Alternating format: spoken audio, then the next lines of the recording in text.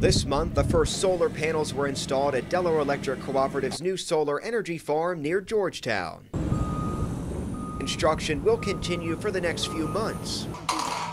And once completed, the facility will produce enough energy to power 500 Delaware homes. It provides us an innovative and cost effective way to not only uh, help the environment, but to make sure that our members can pay for it, that it's affordable to them.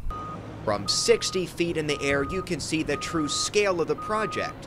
20 acres of solar panels will cover this field.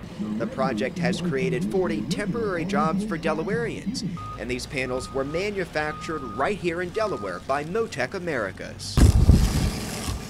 In all, 16,000 solar panels will be installed. In the first year of operation, the farm will prevent 12 million pounds of carbon dioxide from being released into the air.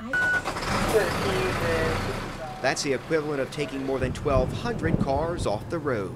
The power that we're going to receive from this energy farm is about the cleanest that you're going to get anywhere. This clean energy project will help the co-op meet state mandates for renewable energy and will not have an immediate impact on rates. And this is only one of the many ways that we work to make sure that our environment stays clean and we provide you with the reliable and cost-efficient energy uh, that you need.